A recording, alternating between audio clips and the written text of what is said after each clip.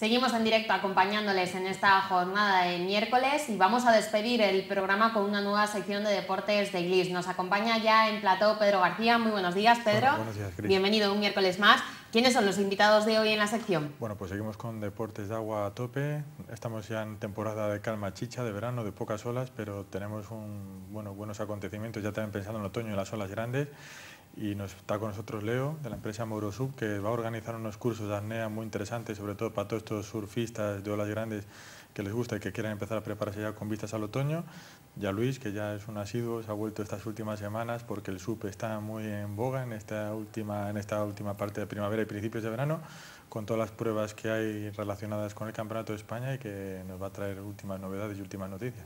Bueno, pues muy buenos días a los dos, bienvenidos. Luis, empezamos contigo porque la semana pasada tuvimos aquí además al campeón de esa primera prueba del Campeonato de España que se celebró hace un par de semanas en Noja. Estuviste con nosotros justo la semana esa previa al acontecimiento, cómo se desarrolló todo, porque la previsión meteorológica, recordamos a los espectadores que no las teníais todas con vosotros. No, no las teníamos con nosotros, gracias por recibirnos de nuevo, no las teníamos todas con nosotros y de hecho fue así, hizo un día muy malo, muy duro para los deportistas, pero bueno, al final ellos eh, se lo tomaron como hay que tomar estas cosas, con deportividad y como un reto, que eso es lo que hace que las pruebas acaben consagrándose en muchos casos y le den ese toque épico que, que en muchos casos tiene el deporte. Está muy bien hacerlo todo con todas las condiciones perfectas, pero cuando ya de por sí el esfuerzo se, se endurece por las condiciones climatológicas, pues, pues le da un punto de, de acidez muy bueno y que hace que, que, perdure en el tiempo, tanto el recuerdo positivo como, como, el futuro. Bueno, el cántabro Paulino Cayón, que estuvo con nosotros la pasada semana y que fue el vencedor de la modalidad de maratón de ese campeonato de España y que nos contaba que precisamente el que la meteorología no estuviese tan buena como en un día como hoy, sí que favoreció un poquito a los cántabros, ¿no? A quien conocen las aguas de Noja. Así es, sí. La verdad es que la gente que venía a disputar el campeonato venían básicamente del Mediterráneo, de Cataluña, donde bueno, las condiciones climatológicas eh, del mar son muy favorables para la práctica de este deporte. De hecho, es uno de los sitios donde más rápidamente está creciendo el, el stand-up paddle, perdón, tanto a nivel recreativo como a nivel competitivo. Y en el Cantábrico, bueno, las condiciones duras. Paulino viene de Suances, eh, todo el equipo del, Suances, el club de sub, eh, está acostumbrado a estas condiciones y, e incluso condiciones peores. ¿no? Entonces, ahí jugaron con eso a su favor y e hizo que, bueno, que él pudiera, tras un pequeño problema que ya contó él, eh, recuperar en la segunda vuelta del recorrido las plazas perdidas y, bueno, y, adelantar a, los, a los catalanes. Bueno, estamos viendo algunas imágenes que nos ha traído Luis de esa jornada de competición, donde también se disputó una prueba válida para la Liga Regional Norte. ¿Ahí quién fue el ganador, Luis? En la prueba de Liga Regional Norte, bueno, hubo, hubo varios eh, deportistas, eh, no recuerdo exactamente quién fue, en chicas sí que fue eh, Beatriz Piñal y segunda eh, Marian. En chicos no recuerdo ahora mismo quién fue el, el, el, vencedor. La verdad es que para ellos incluso fue todavía más duro porque estaban acostumbrados a, a unas condiciones diferentes, no a, a, pruebas tan largas en el tiempo. Hemos de recordar que lo, el mayor enemigo eh, para el palista es, el viento en esta modalidad, más que incluso que, el, que, la mar. En el primer tramo del recorrido les soplaba a favor, con lo cual disfrutaron todos, pero en la segunda parte, los 6-7 kilómetros restantes, les vino en contra y la verdad es que sufrieron, sufrieron bastante, sobre todo los, los, que venían a la Liga Regional Norte, que, era, que es un tipo de deportista diferente al que viene a disputar la, la Copa de España. Bueno, recordamos que en ese campeonato de España ya se habían realizado algunas de las pruebas. Esta era la primera que se realizaba en Cantabria, pero después están las citas de Pedreña y Santander. La de Pedreña, que es la más próxima, no sé si entre medias hay alguna, alguna otra competición. No, en principio la siguiente prueba, de la, sobre todo de la Copa de Resistencia y el siguiente campeonato de España es la prueba de 24 horas, Campeonato de España de Resistencia, que se celebra en, en Pedreña. La siguiente Después de esa importante la tendremos en, eh, me saldrá, eh, en Suances, precisamente, a finales de, a mediados de septiembre, con el Campeonato de España, distancia Reis, eh, Campeonato de España de verano. Bueno, esa prueba de Pedreña que va a tener lugar los días 1 y 2 de julio, como ya comentamos, ¿cuántos kilómetros calculáis, Luis, que se recorren en 24 horas sobre la tabla? A ver, el récord de la prueba está en 163 kilómetros, ¿vale? que lo, tiene, creo que es eh, Miguel Martorell, y el, el récord actual en 24 horas lo tiene en un trazado en los canales de Holanda, eh, Floren, que está el francés Dode Floren, que estará aquí presente en esta nueva edición. Eh, allí hizo 190 kilómetros. Las condiciones no son las mismas, entre Miguel Martorell y Ramón Blanco, que son los que han tenido hasta ahora las mejores distancias en, la prueba de Pedreña, eh, las condiciones han sido siempre muy negativas. El año pasado hubo casi 10 horas con viento de más de 8 nudos que les afecta muchísimo en el recorrido. Eh, es un recorrido mixto con, diferentes condiciones de navegación mientras que en la prueba de, Holanda las condiciones son muy favorables, son canales más estrechos, te puede afectar el viento, eso sí también, pero las condiciones del canal siempre son favorables.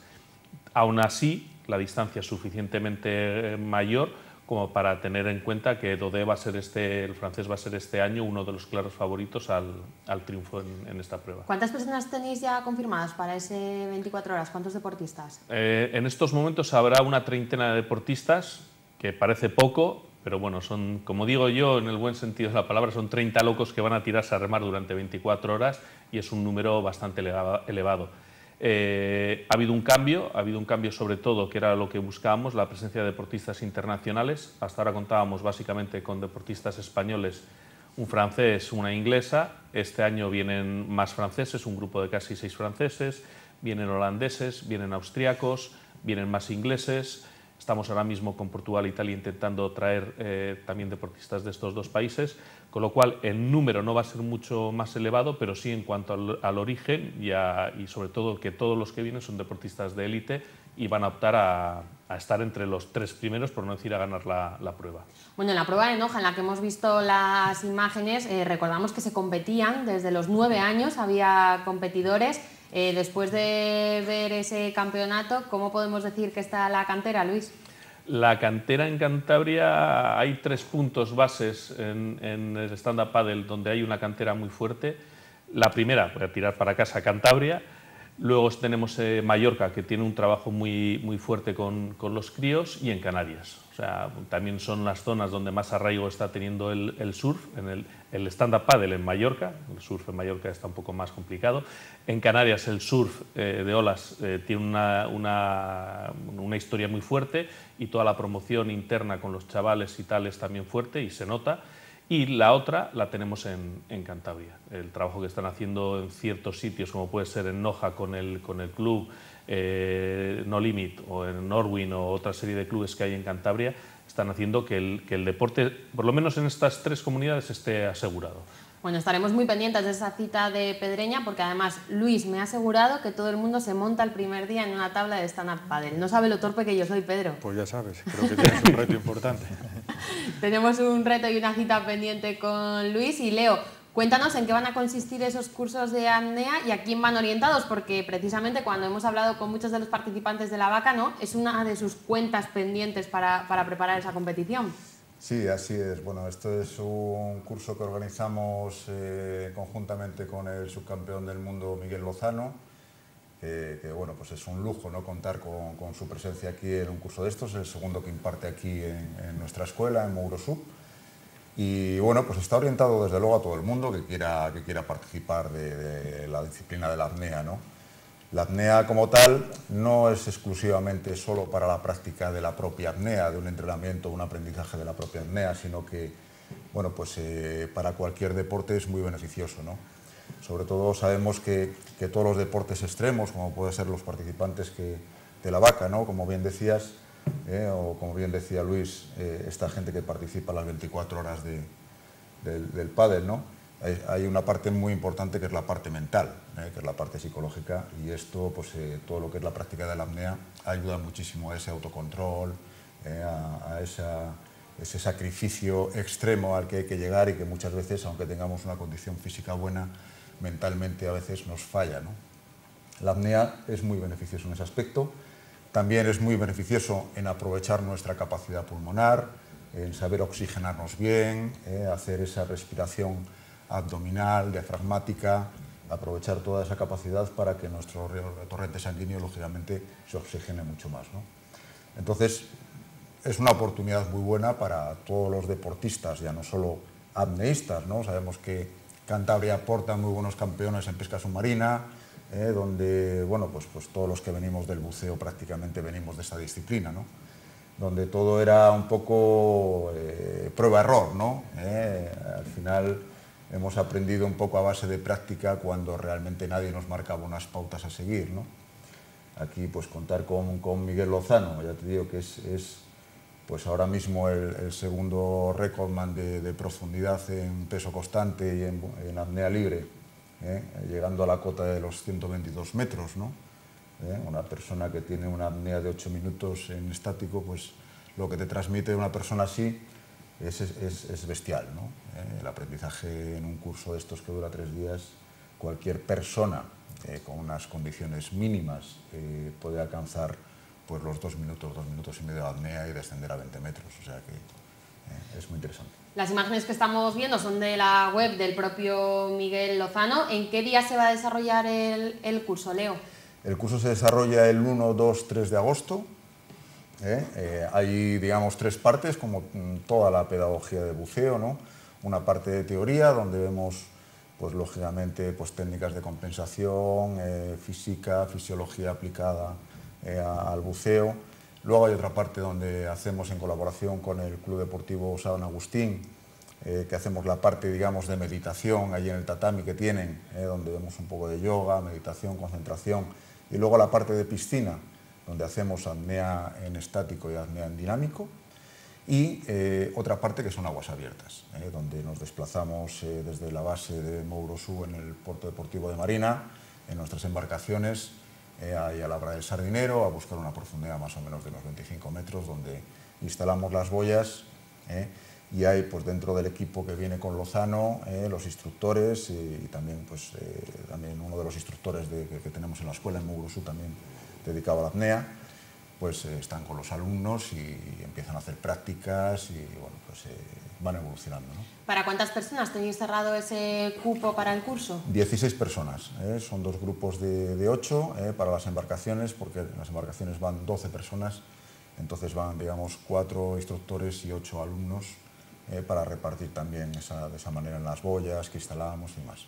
Aquellos que estén interesados, ¿qué tienen que hacer para apuntarse, Leo? Bueno, pues simplemente ponerse en contacto a través de nuestro correo electrónico info.mourosub.com o bien a través de, mi teléfono directamente, el 687 70 87 42, o a través de la escuela directamente allí preguntar en Mourosub o a través de la propia web eh, de, de mourosub.com, ahí tienen toda la información del curso eh, y bueno, pues animar a todos los interesados que es una buena oportunidad, de contar con un campeón así. Bueno, pues contar con un campeón como campeones son quienes se enfrentan a la vaca, de la que mañana vamos a conocer más datos, ¿no, Pedro? Mañana tenemos presentación oficial y daremos a conocer datos de lo que va a ser esta tercera nueva retorno de la edición de la vaca gigante, que esperemos que, no, que muja más fuerte que nunca. ¿Dónde va a ser la presentación mañana? En la sede del Club Obsesionados, en la calle Repuente número 32, en la Albericia, a las 12 del mediodía. Bueno, pues estaremos muy pendientes de los nuevos datos que se ofrezcan sobre la competición, en la que ya sabemos que va a haber mujeres ¿no? dentro de esa competición oficial. Efectivamente, va a ser, bueno, es una primicia que se adelanta, va a ser el primer campeonato de las grandes a nivel mundial, que es mixto, en el cual van a tener las mismas posibilidades de optar al triunfo final, tanto una chica como un chico. Bueno, pues estaremos muy pendientes además de los cántabros que, que, participen. Muchísimas gracias a los dos por haber estado hoy en el programa. Luis, Leo, a Pedro le vemos la semana que viene nos traéis todas las noticias relacionadas que deis mañana en esa rueda de prensa. Pedro, muchísimas gracias. y a ustedes mañana les esperamos aquí como siempre a partir de las doce y media. Que tengan una buena tarde.